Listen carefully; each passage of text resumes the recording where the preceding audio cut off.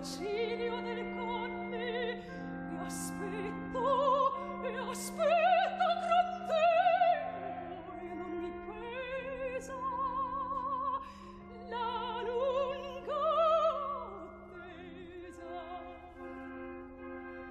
Uscito dalla città